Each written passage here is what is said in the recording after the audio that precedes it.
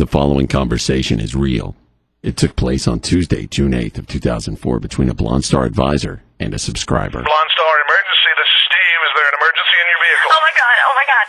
Locked myself in my car and the keys are on the outside. Ma'am, Oh my god. ma'am, I need you to calm down. Okay, it's it's just that the windows are rolled up and I'm starting to sweat. My keys are on the outside. Now, your keys are on the outside of the vehicle? Yes, oh my god. Now, does your car have automatic locks or... Uh, yes, yes, yes, Okay, yes. here's what I need you to do. Take hold of the inside of your door handle there. Are you doing this? Um, The shiny thing. Grab the shiny thing.